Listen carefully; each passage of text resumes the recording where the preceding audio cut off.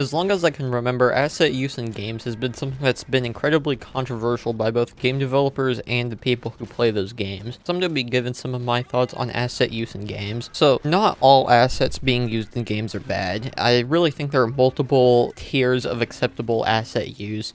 The most acceptable being things like art assets if you're a really bad 3D artist or 2D artist and you just need some art for your game, then feel free to use art assets that you either pay for or that you get for free from places like itch.io or the asset store. Now, this does not mean that you should just go and download every asset pack you come across and just find a way to cram it into your game and just have a bunch of mixed matched art styles. You should actually try to put in some effort into making sure that the art in your game is cohesive with the rest of your game and that actually makes sure it fits in with the theme of the game you're going for. In the art asset category, there's also sound effects. I would actually say that sound effects is the most acceptable use of assets since sound effects are really hard to make, much harder than any 3D models. You have to have a whole bunch of special equipment especially for things such as guns, explosions, whatever. Sure, you could get away with doing some foley stuff or some foley, however you wish to pronounce it, and doing some post-production, but it's never going to be as good as a studio-produced asset pack. Textures are also up there. Texture creation really isn't something that that many people specialize in, especially in the indie game scene. So getting textures from places like ambientcg.com, it's perfectly acceptable. I do it myself all the time as long with using art and sound assets. Uh, most people won't even notice anyways if uh, a texture is an asset or not since they're not really paying attention to that. However, art assets such as 3D models and sounds, if you're using a really well-known asset pack, people would be able to notice if it is an asset pack. The absolute most unacceptable asset pack to use in a game if you're trying to sell a product is a template asset pack.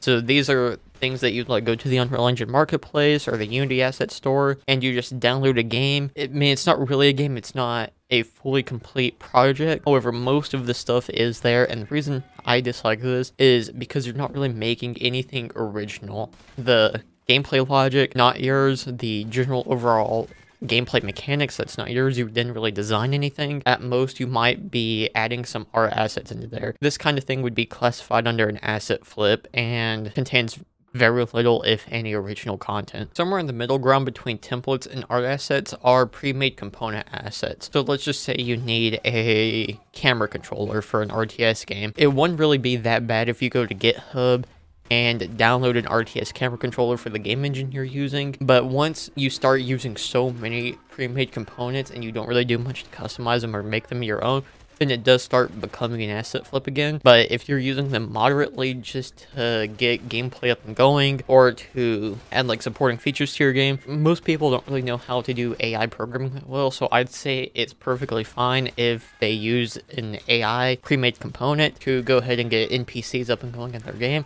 But if their entire game is made of pre-made components mixed mashed together, and once again, it's not really something that's really that original. Ultimately, in the end, though, it just comes down to what's fun. And most people do not find pre-made template games fun. However, if you're able to download a template off the Unreal Engine Marketplace or the Unity Asset Store and change so much about it to the point where it is fun, most people won't notice that's an asset and most people won't care anyways, eh, as long as it's fun. But if it's something that's really jank like most templates are, then people will absolutely destroy your game in either the reviews or on YouTube or Twitter, or wherever wherever people destroy games at Reddit. I don't really keep up with it. I mostly just stick to YouTube.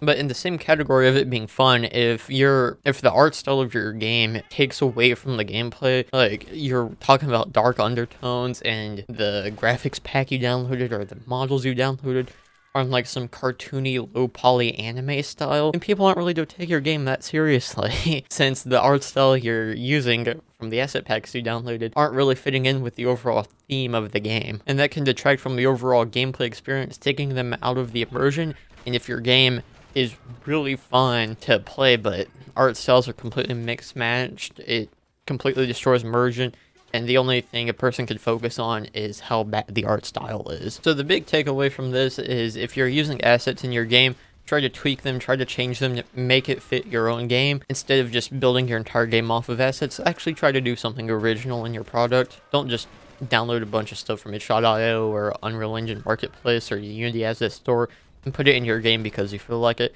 Do some design work, go out, find some stuff that you actually think would fit really well in your game. And then once you get that stuff, tweak it, change the code, change the style, whatever, and people won't notice that your game's an asset flip. Oh, I also feel like I have to say this.